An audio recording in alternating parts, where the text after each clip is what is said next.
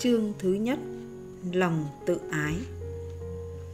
Người xưa có nói, Giữa chốn ba quân có thể đoạt được soái ấn, Nhưng không thể đoạt được cái trí của kẻ thất phu. Kẻ nói câu này thật đã khám phá được cả tâm sự của loài người. Người ta giàu là một kẻ tầm thường đến bậc nào, Bao giờ cũng cho ý kiến mình là quan trọng hơn tất cả. Cái tôi có phải là dễ ghét đâu? Theo như lời của Pascal, nó là cái chữ dễ yêu nhất trong đời. Nhưng vì ta đã quá nâng niu chiều chuộng nó mà thành ra cách xử kỷ tiếp vật trong đời ta gây không biết bao nhiêu sự vụng về, ân hận, đau khổ, tai ương. Và cũng chính vì thế mà Pascal mới thốt ra câu nói chua cay này. Cái tôi rất đáng ghét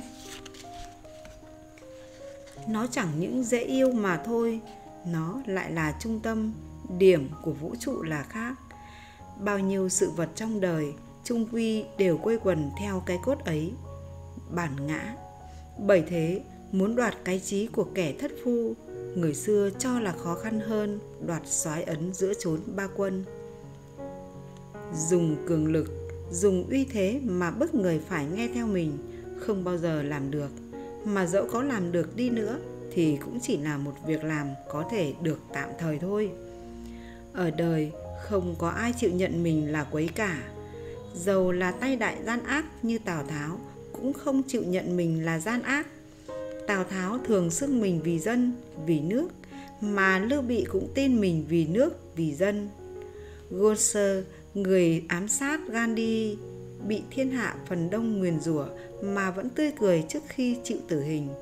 Bởi vậy, bàn cãi với người và muốn đem cái lẽ phải của mình ép buộc họ phải nghe theo thì chắc chắn không bao giờ được, lại còn gây thêm lắm điều không hay khác trong tình giao hảo hàng ngày. Tuổi nhỏ, tôi là người thích cãi nhất. Tính hiếu thắng xui tôi bao giờ cũng không chịu nhịn một ai cả, dẫu trong một lời nói tầm thường cũng vậy trong những cuộc cãi vã, không bao giờ tôi chịu nhượng ai một lời. Rủi mà lời nói mình không được người để ý đến, hoặc bị dùng dẫy bỏ qua, thì không gì buồn khổ, bực tức bằng. Nói thì có hơi quá đáng, nhưng tâm sự tôi bấy giờ thật không khác gì tâm sự của khuất nguyên. Có điều là không đến nỗi đi trầm mình nơi sông bộc. Khuất nguyên làm quan cho hoài vương nước sở bị sàm báng, phải bị đuổi đi. Mặt mũi tiều tụy, hình dung khô héo. Một ông lão đánh cá trông thấy, hỏi, có phải ông là tam lư đại phu đó chăng? Sao mà đến nỗi khổ thế? Khuất nguyên nói, đời đục cả, một mình ta trong, người say cả, một mình ta tỉnh. Bởi vậy, ta phải bị bỏ đi đó đâu phải là tâm sự riêng gì của khuất nguyên, mà là tâm sự chung của mọi người. Tại sao mình muốn cho người ta phải nghe theo mình, mà không để cho người ta như mình? Nghĩa là theo cái ý nghĩ của người ta. Tuổi thanh xuân thường vì huyết khí, bồng bột nên không chịu coi vào đâu những ý kiến của các bậc cao niên đầy kinh nghiệm hơn. Dầu có muốn cho mấy cũng không làm gì tránh khỏi sự xung đột giữa hai thế hệ vậy làm cha mẹ bây giờ tại sao ta không biết lấy cử chỉ khôn ngoan của nhà mục sư kia đối với đứa con trai 15 tuổi của ông mà xử với con mình. Ông mục sư ấy bảo với con ông, từ 15 đến 20 tuổi, cha cho phép con tin rằng con thông minh hơn cha. Từ 20 đến 25 tuổi, con cũng được quyền tin rằng con thông minh hơn cha. Nhưng bắt đầu từ 25 tuổi sắp lên, cha bắt buộc con phải nhìn nhận sự thông minh của cha hơn con nhiều một cách tuyệt đối vậy. Thật, ông cha này là một ông cha thông minh và khôn ngoan nhất. Tôi đã từng trải qua những giai đoạn ấy, những lúc mà huyết khí đã đưa tôi lên tận mây xanh của lòng tự phụ, không xem vào đâu kinh nghiệm của bậc tiền nhân và đã đưa tôi vào những cuộc phiêu lưu tinh thần không bờ bến. Mỗi một ý nghĩ gì chạm đến lòng tự phụ của tôi, thì tôi quyết đánh đổ đến kỳ cùng. Nhất nguyện không bao giờ chịu để cho ngã lẽ. dẫu biết mình sai lầm, lắm khi đêm nằm suy nghĩ, biết mình quấy nát, thế mà lòng tự ái cấm cản, không cho mình đi về đường phải ước gì người ta đều biết cư xử với bọn thanh niên chúng tôi như ông mục sư kia, thì biết bao nhiêu thanh niên đã không liều lĩnh đi vào con đường lãng mạn và đầy trông gai của những lý tưởng mù mờ, nhưng khôn ngoan và biết chiều theo lòng thị dục đương buổi của chúng tôi. Thật, ông mục sư trên đây là người hiểu tâm sự của thanh niên nhiều lắm. Đừng công kích, đừng biếm nhẽ, đừng mạt sát ai nghĩa là đừng chạm vào lòng tự ái của ai cả. Nếu mình muốn người ta nghe theo mình, nghe theo cái lẽ phải của mình. Hơn nữa, cái thiện cảm đầu tiên mà mình gây được nơi lòng người rồi, đó là cái chìa khóa thành công của mình sau này vậy. Thương nhau mọi sự chẳng nề, dẫu trăm chỗ lệch cũng kê cho bằng. Trái lại, nếu mình vô tình gây lấy ác cảm lúc ban đầu, thì con đường thất bại của mình đã gạch sẵn yêu ai, yêu cả đường đi, ghét ai, ghét cả tông ty họ hàng. Huống chi tư tưởng của mình, nếu có sự yêu ghét chen vào trước, thì sự thuận nghịch thấy liền trước mắt. Lý luận đanh thép, bậc nào, bằng cứ dồi dào bậc nào, cũng không làm gì chuyển được cái ác cảm gây ra lúc ban đầu. Huống chi, trong khi bàn bạc, mình cũng phải kể đến trình độ của kẻ khác.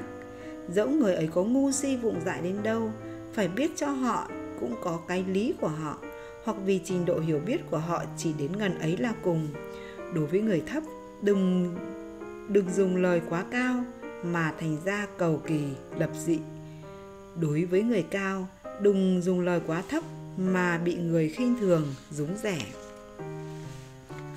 Khổng tử có nói, trung nhân dĩ thượng, khả dĩ ngữ thượng giã. Trung nhân dĩ hạ, bất khả dĩ ngữ thượng giã bậc trung trở lên thì có thể dùng lời cao mà nói được. Từ bậc trung trở xuống, không thể dùng lời nói cao mà nói được nữa. Một câu đọc thuộc lòng tuổi nhỏ, đến nay mới hiểu được tất cả ý nghĩa thâm trầm của nó. Trang tử lại còn nói rõ ràng hơn, đồng ý với ta, cho ta là phải, không đồng ý với ta, cho ta là quấy. Đã cho ta biện bác cùng anh anh được, ta không được vậy anh đã hẳn là phải, mà ta đã hẳn là quấy chăng? Ta được, anh không được. Vậy ta đã hẳn là phải, mà anh đã hẳn là quấy chăng? Hay là hoặc khi phải, hoặc khi trái chăng? Hay là cùng phải cả, cùng quấy cả chăng? Ta cùng anh không thể biết được nhau vậy. Giờ ta phải nhờ đến ai để quyết định điều đó? Nhờ kẻ đồng với anh để quyết định điều đó ư. Họ đã đồng với anh thì làm sao mà quyết định được? Nhờ kẻ đồng với ta để quyết định điều đó ư. Họ đã đồng với ta thì làm sao mà quyết định được? Vậy phải nhờ kẻ khác với ta và với anh để quyết định điều đó ư. Họ đã khác với ta và với anh thì làm sao mà quyết định được? Vậy thì ta cùng anh, cùng người đều không thể hiểu biết nhau, còn phải đợi kẻ khác nữa ư? Câu này đã làm cho tôi tỉnh ngộ nhiều lắm. Thật vậy, cái phải quấy của thiên hạ chẳng qua ở chỗ thuận nghịch với những ý tưởng có sẵn của mình thôi. Chỉ có một sự đồng cùng không đồng. Mà lời mình nói, việc mình làm thành ra phải hay quấy. Và chỉ có thế thôi trình độ hiểu biết của ta không thể bắt buộc ta phải nhận những điều mà ta chưa thể hiểu được. Không chịu hiểu, thế mà gắng gượng làm cho kẻ khác cũng phải ngã lẽ theo mình, thật mình còn mê hơn họ nữa. Nếu họ thật là người mê, đã vậy lại còn bực tức, bất bình chỉ vì người ta không chịu hiểu theo mình. Tôi tưởng không còn gì ngu si hơn nữa. Mình nói mà người ta không hiểu, biết đâu không phải là người ta ngu mà là vì mình ngu, nghĩa là mình không biết cách làm cho người ta hiểu. Cũng như làm thầy dạy học trò mà học trò không hiểu, đừng vội cho chúng là ngu mà phải tự trách mình vì không biết cách dạy làm cho chúng hiểu. Tại sao biết chắc điều mình nghĩ là phải mà của người là quấy? Cái sướng của người trí, kẻ ngu lấy làm bực mình. Cái sướng của kẻ ngu người trí cũng lấy làm bực mình vậy. Phải quấy là một lẽ tương quan, đối với mình cũng như đối với người. Vậy cãi nhau về điều phải, lẽ quấy thật là một điều khó được ổn thỏa. Lại nữa, biết đâu sự hiểu biết của mình không phải chỉ là một sự hiểu biết vụn vặt, chi ly như cái biết của người mù giờ voi bốn anh mù hội nhau để quan sát con voi. Người thứ nhất giờ đụng cái chân, bèn nói, con voi giống như cái cột trụ. Người thứ hai mó trúng cái vòi, bèn nói, đâu phải, nó giống như cái chì. Người thứ ba đụng cái bụng, vuốt ve một hồi rồi nói, theo tôi, nó giống cái chum đựng nước. Người thứ tư lại nắm trúng cái lỗ tai, chật cả, nó giống như cái nia bốn người cãi nhau om sòm, không ai chịu ngã lẽ cả. Ngã lẽ thế nào được chứ? Chính bàn tay mình giờ mó nó, chứ phải là nghe ai nói lại sao mà bảo là mơ ngủ. Làm cách nào bảo cho mình chịu được? Rằng con voi giống như cái nia trong khi chính tay mình ôm nó đây, thật là tròn và dài như cây trụ. Có người đi qua, dừng lại và hỏi vì đâu có sự cái lẫy giường ấy, họ bèn thuật lại những điều họ đã nhận thức đó và cậy người ấy làm trọng tài. Người ấy cười, bảo, không có một ai trong bốn anh em thấy được rõ con voi như thế nào. Nó đâu có giống cây cột nhà, mà chính chân nó giống như cây cột. Nó đâu có giống cái nia, mà cái tai nó giống cái nia. Nó đâu có giống cái chum đựng nước mà cái bụng nó giống cái chum đựng nước. Nó cũng đâu có giống cái chùy mà chính cái vòi nó giống cái chùy con voi là chung tất cả những cái ấy, chân, lỗ, tai, bụng và vòi. Sự vật trong đời thiên hình vạn trạng, chắc gì mình có thể biết được tất cả mọi phương diện của sự đời. Và có biết đâu, điều mình biết kia chỉ là một trạng thái của sự vật thôi chỉ có những bậc sáng suốt nhất mới dám tự hào là thấy đặng chân tướng sự vật. Nhưng biết đâu họ cũng chỉ biết được nhiều phương diện hơn mình thôi, chứ không phải là biết được tất cả phương diện. Sự phải biết thì vô cùng, còn sức hiểu biết của mình thì có hạn. Lấy cái hữu hạn mà lượng cái vô cùng, thật khó lòng mà làm nổi. Chuyện cãi nhau về con voi của những người mù này không khác gì việc tranh cãi về con kỳ nhông trong chuyện cổ tích, một cuộc bàn cãi về cái chuyển của sự vật. Có người kia bảo với bạn nó, tôi đứng dưới gốc cây đằng kia, thấy rõ ràng một con thú quái lạ, đỏ như lửa. Người nọ bảo, tôi cũng thấy con thú ấy vậy, nhưng nó xanh lè kia mà. Một người thứ ba đi ngang qua nghe vậy, xía vô, đâu phải tôi thấy rõ ràng nó vàng như nghệ vậy. Rồi thì người đi đường xuống lại nghe, ai cũng bảo chính mình thấy như thế này, như thế khác. Cãi nhau kịch liệt, không ai chịu nhận của ai đúng hơn của mình. Họ vừa tính chỏng nhau thì có một người lạ khác vào can. Không không, các anh đừng cãi nữa. Chính tôi là người sống dưới cội cây ấy, nên tôi nhận rõ sự biến đổi của con thú ấy. Nó là con kỳ nhông nó đổi sắc luôn luôn. Khi thì đỏ, khi thì xanh, khi thì vàng, khi thì tím. Và riêng tôi có lúc lại thấy nó không có màu sắc gì cả, giống hệt với cái da cây. Sự vật ở đời đâu phải luôn luôn như thế này hay luôn luôn như thế kia đâu. Thảy đều là một sự thay đổi không ngừng. Điều mà mình cho là phải hôm nay biết đâu ngày mai lại thành một sự quấy. Cái lợi hôm nay biết đâu sẽ là cái hại của ngày mai. Một ông lão có con ngựa, một hôm tự nhiên đi mất. Hàng xóm đến chia buồn. Ông nói, mất ngựa, nhưng sao các ông biết đó là họa của tôi? Cách mấy tháng, con ngựa lại trở về, dẫn theo một con ngựa hay nữa. Hàng xóm cũng đến chia mừng.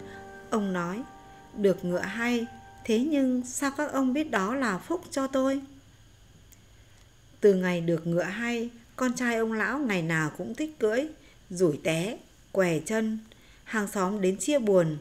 Ông nói, con tôi què, nhưng sao các ông biết đó là họa cho tôi? Năm sau có giặc, nhà vua bắt lính, thanh niên đi lính, 10 người chết đến 9, con trai ông vì què khỏi đi lính, nên cha con còn hủ hỉ với nhau.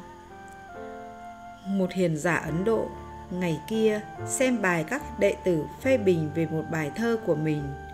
Có hai người đệ tử, trước khi trình cho thầy bài luận của mình, lại đổi nhau xem trước. Họ bèn cãi nhau. Không ai chịu nhận bài của bạn mình là đúng. Thế rồi họ bảo nhau để coi thầy sẽ phán đoán cách nào. Ông thầy xem đến bài của từng người đều gật đầu khen phải cả. Đến lượt hai người này, thầy cũng gật đầu khen đúng nữa. Một người liền đứng lên phản đối. Thưa thầy, bảo rằng bài của các bạn con đều đúng thì con không dám cãi vì con không được biết họ nói gì trong đó. Chớ như đối với bài của anh này thì con chắc chắn không thể nào thầy cho là đúng được. Trong khi thầy cũng nhận cho bài của con đúng nữa hai chủ trương của chúng con quả quyết không thể bên nào dung được bên nào. Hễ anh ấy phải thì con quấy, mà con phải thì anh ấy quấy. Ông thầy mỉm cười, ôn tồn bảo, hai trò đều bán đúng cả đấy. Sở dĩ trò này nói vậy là tại trình độ hiểu biết của nó chỉ đến đó là cùng. Sao có thể bảo nó nói sai hay hiểu sai cho được? Bài thơ của thầy như vầng thái dương, hoa nào cũng nhờ ánh dương mà nở. Nhưng cây nào nở hoa nấy? Cây này không thể nở hoa kia, mà cây kia không thể nở hoa nọ được. Sao có thể bảo bài của người này phải, mà bài của kẻ kia quấy? Nếu ở đời, ai cũng biết lấy cái lượng của hiền giả này mà xử, thì ắt không bao giờ cần phải học đến thuật xử thế mà việc gì trong đời cũng sẽ được xuôi trèo mát mái cả.